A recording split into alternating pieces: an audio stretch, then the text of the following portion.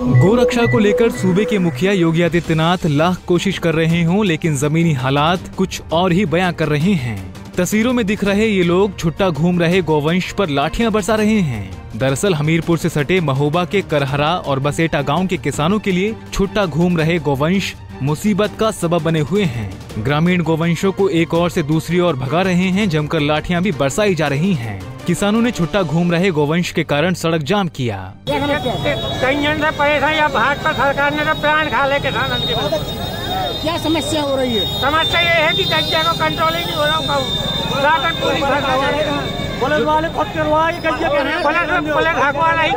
कहाँ से आई है है? है महोबा डिस्ट्रिक्ट का एक लगा हुआ गाँव है करहरा तो वहाँ कैथी के लोगों का कहना है कि करहरा से 40-50 जानवर रात में वहाँ के लोग छोड़ गए। और कुछ यहाँ के भी जानवर हैं इस तरह से सौ डेढ़ सौ लगभग जानवर डेढ़ सौ इकट्ठा था जब हम लोग पहुँचे। तो लोगों से बातचीत की गई जाम तो खुल गया है। लेकिन अभी ये निश्चित नहीं हो पाया है कि किसके जानवर हैं। उधर जा रहे हैं तो वो लोग हाँक दे रहे हैं, इधर आ रहे हैं तो ये लोग हाँक दे रहे हैं। गौरतलब है कि छुट्टा गोवंश की समस्या दिन प्रतिदिन बढ़ती जा रही है और शासन प्रशासन के पास इससे निपटने की कोई ठोस योजना नहीं है। अब देखना ये होगा कि योगी सरकार छुट्टा गोवंश को लेकर क्या कदम उठाती है। पंजाब केसरी टीवी के लिए हमीरपुर से रविंद्र सिंह की रिपोर्ट।